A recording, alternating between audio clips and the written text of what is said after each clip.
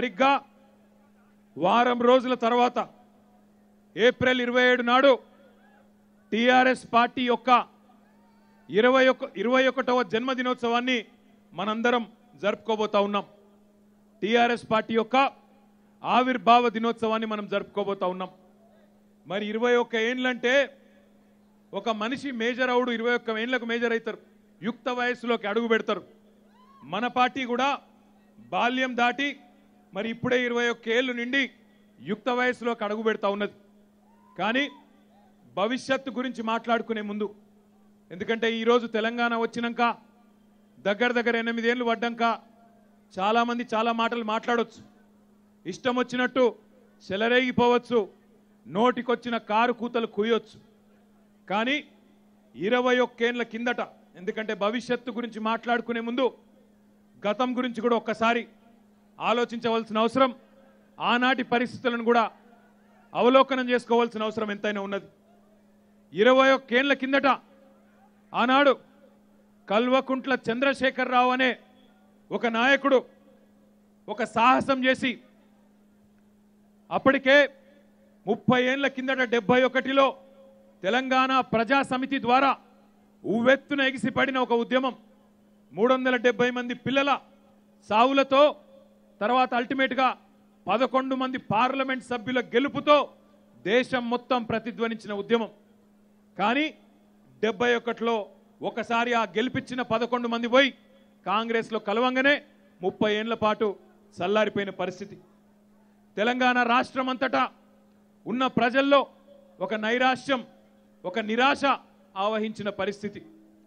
రాజకీయ నాయకులంటేనే కేవలం తెలంగాణ నినాదాన్ని రాజకీయ అవసరాల కోసం వాడుకుంటారు మళ్ళా వాళ్ళకు పదవి రాగానే పక్కకు పెడతారు అనే ఒక అపనమ్మకపు పరిస్థితి. అట్లాంటి పరిస్థితుల్లో ఆనాడు కల్వకుంట్ల చంద్రశేఖరరావు గారు ఆనాడు ఆయన పేరు కేసీఆర్ కాదు కల్వకుంట్ల చంద్రశేఖరరావు. ఒక మంత్రిగా అప్పటికే పనిచేసిన వ్యక్తి డిప్యూటీ స్పీకర్గా ఉన్న వ్యక్తి. కానీ ఒక సూపర్ స్టార్ కాదు ఒక సినిమా స్టార్ కాదు. ఆయనేమి వాళ్ళ తండ్రులో వాళ్ళ తాతలో రాజకీయ నాయకులు ముఖ్యమంత్రులు లేదా ప్రధానమంత్రులుగా చేసిన వాళ్ళు కదా? రాజకీయ నేపథ్యం ఉన్న కుటుంబం నుంచి వచ్చిన వ్యక్తి కాదు. ఇంకొక అడుగు ముందుకేసి చెప్పాలంటే ఆనాడు మెదక్ జిల్లా బయట రాష్ట్రంలో పార్టీ కార్యకర్తలకు తెలుసు కావచ్చు కానీ జన బాహుల్యంలోకి అంతగా తెలిసిన నాయకుడు కాదు.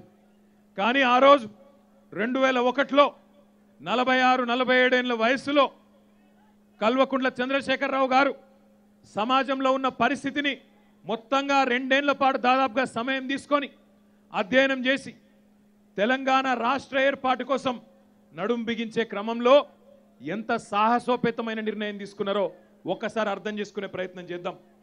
రెండు వేల ఒకటిలో ఏంటిది పరిస్థితి అన్నాడు ఒకవైపేమో రాష్ట్రంలో చంద్రబాబు నాయుడు గారి సారథ్యంలో తెలుగుదేశం ప్రభుత్వం ఇక్కడ.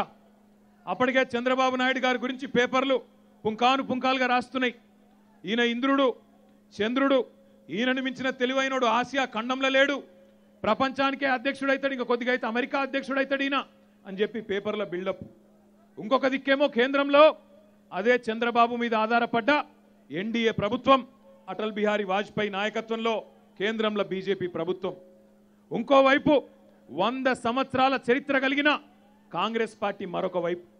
అట్లాంటి సందర్భంలో అట్లాంటి పరిస్థితుల్లో అసలు తెలంగాణలో ఒక కొత్త రాజకీయ పార్టీకి తెలంగాణలో ఒక ప్రత్యామ్నాయ వేదికకి చోటున్నదా ఇక్కడ రాజకీయ శూన్యత ఉన్నదా? ఇక్కడ అవకాశం ఉన్నదా అనే ఒక సందేహాస్పదమైన వాతావరణం.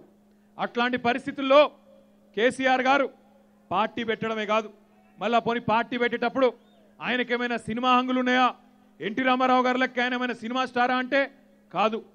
పోనీ ఒక మాజీ ముఖ్యమంత్రి ఒక రాష్ట్ర స్థాయిలో సుపరిచితులైన వ్యక్తి అంటే కాదు. పోనీ మీడియా పవర్ ఉందా అంటే లేదు. మనీ పవర్ ఉందా అంటే లేదు. మజిల్ పవర్ ఉందా అంటే లేదు. కుల బలం ఉందా లేదు. ధనబలం లేదు. ఏది లేదు. కానీ ఉన్నదల్లా ఒక్కటే గుండె బలం గుండె నిండా ఆత్మవిశ్వాసంతో ఒక్కడుగా బయలుదేరి ఒకే ఒక్కడుగా బయలుదేరి గులాబీ జెండా నెగరేసి ఒక ప్రయాణాన్ని ఒక ప్రస్థానాన్ని ఆనాడు కేసీఆర్ గారు ప్రారంభించినారు. ప్రారంభించినప్పుడు అప్పుడెప్పుడో సినిమాల్లో ఒక పాట ఉండేది. అదేం పాట అది? గాలి వానలో. గాలి వానలో వాన నీటిలో పడవ ప్రయాణం. గమ్యం ఎక్కడో తెలియదు పాపం అని చెప్పి ఆనాడు ఒక పాట ఉండేది సినిమాలలో అంటే అట్లాంటి పరిస్థితి. ఒక ఏటికి ఎదురేగే పరిస్థితి తుఫాను వాతావరణంలో ఇన్ని రాజకీయ పక్షాల మధ్యన గుండె ధైర్యంతో గుండె నిబ్బరంతో నలభై ఆరు నలభై ఏడేళ్ళ వయసులో బయలుదేరడం. ఈ మాట నేను నలభై ఆరు నలభై ఏడేళ్ళని ఎందుకు చెప్తున్నా అంటే సాధారణంగా ఒక రాజకీయ నాయకుడికి అప్పటికే ఒక మంత్రిగా పనిచేసిన నాయకుడికి నలభై ఆరు నలభై ఏడేళ్ళంటే ఇక అక్కడి నుంచి టేక్ ఆఫ్ ఆడికెళ్ళి ఇంకా పైకి పోవడే తప్ప వెనుకకు మరీ చూసేది ఉండదు. అట్లాంటి పరిస్థితుల్లో చంద్రబాబు నాయుడు గారు ఎన్ని బంపర్ ఆఫర్లు ఇచ్చినా మీకు ఏ మంత్రి పదవి కావాలంటే అది ఇస్తాం తీసుకోండి అని చెప్పినా ఎన్ని రకాల మాటలు చెప్పినా అవన్నీ పక్కకు పెట్టి గులాబీ జెండా ఎగిరేసి బయటకు వచ్చిండ్రు. వచ్చినాక కూడా సమాజంలో అపనమ్మకం. అవుతుందా ఈయనతో అవుతుందా ఉద్యమం ముందుకు పోతుందా? తెలంగాణ వస్తుందా? ఇట్లా వందల ప్రశ్నలు. అసలు రాజకీయ నాయకులు అంటేనే వాడుకుంటారు వదిలేస్తారు తెలంగాణ ఉద్యమాన్ని అనే ఒక అపనింద అట్లాంటి పరిస్థితుల్లో బయటికి వచ్చి ఆనాడు కేసీఆర్ గారు చెప్పిన మాట నేను ఈ ఎత్తిన జెండా గులాబీ జెండా దించా తెలంగాణ వచ్చేదాకా కొట్లాడతా దబ్బన దించితే రాళ్ళతోని నన్ను కొట్టి చంపండి అని చెప్పిన ఏకైక నాయకుడు భారతదేశంలో ఏకైక ఉద్యమ నాయకుడు ఏకైక రాజకీయ నాయకుడు కేసీఆర్ గారు మాత్రమే. అట్లాంటి ఆనాటి ప్రయాణం ప్రారంభమైనాడు ఈరోజు మాట్లాడే కుక్కల్లాగా మొరిగే నాయకులు ఈరోజు ఇష్టం వచ్చినట్టు కేసీఆర్ గారి మీద చెలరేగిపోయి టీవీలు ఉన్నాయి కదా సోషల్ మీడియా ఉన్నది కదా ఏం మాట్లాడినా చూపెట్టే దౌర్భాగ్యులు ఉన్నారు కదా అని చెప్పి ఇష్టం వచ్చినట్టు చెలరేగిపోయే చిల్లర మల్లర నాయకులు ఎవరైతే ఉన్నారో వీళ్ళెవ్వరు లేరు అన్నాడు. అడ్రస్ కూడా లేరు వీళ్ళెవరు అట్లాంటి పరిస్థితుల్లో కేసీఆర్ బయలుదేరిండు.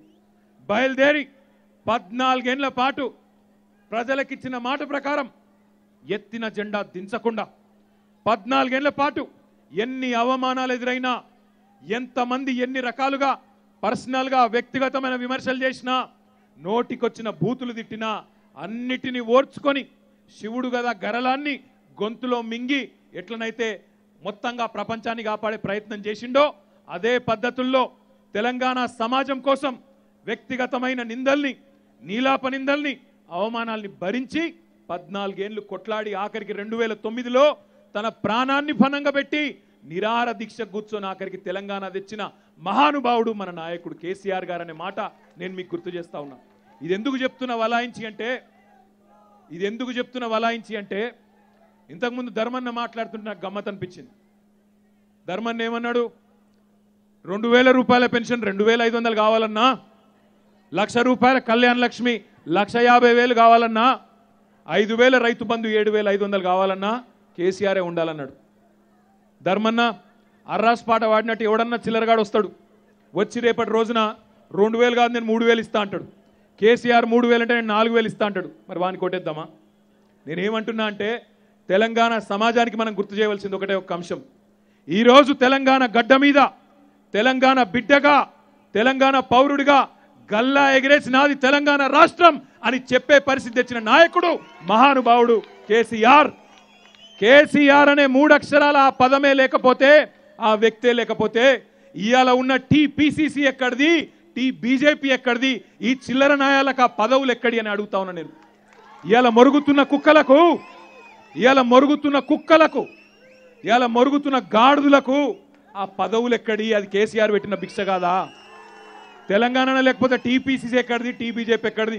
ఇలా దేకినోడు అడిగినోడెవడు ఇళ్ళను ఇళ్ళనోడని అడిగిండా అసలు ఆంధ్రప్రదేశ్లో? అసలు ఈ చిల్లర బట్టె బాజగాలని ఎవడన్నా పట్టించుకున్నాడు ఆంధ్రప్రదేశ్లో?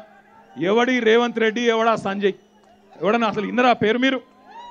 వీళ్ళు కూడా మాట్లాడతారు ఇవాళ మొగోళ్ళ లెక్క ముంగడికి వచ్చి ఒకడు గింతుంటాడు ఒకడు గంతుంటాడు కానీ ఓ ఎగిరెగిరి మాట్లాడతారు. ఎగిరెగిరి పడుడు ఆయన వయస్సు అంటే గౌరవం లేదు. ఆయన రెండుసార్లు ప్రజల చేత ఎన్నుకోబడ్డ ముఖ్యమంత్రి అనే సోయి లేదు. తెలంగాణ కోసం ప్రాణాలు తాకట్టు పెట్టి తెలంగాణ తెచ్చిన వ్యక్తి అని మర్చిపోయినరు. నోటికొచ్చినట్టు చిల్లర మాటలు. మాకు మాట్లాడరాదా? మాకు రావా బూతులు? మోడీని ఏం రా రారా పోరా అనరాదా మనకు? అమిత్ షాని అనరాదా? మోడీ బట్టెవాస్ గాడు అనరాదా? లుచ్చాగాడు అనరాదా? కానీ అనం కానీ అనం. అది మా నాయకుడు మాకు నేర్పిన సంస్కారం. మా నాయకుడు మాకు నేర్పిన సంస్కారం అది.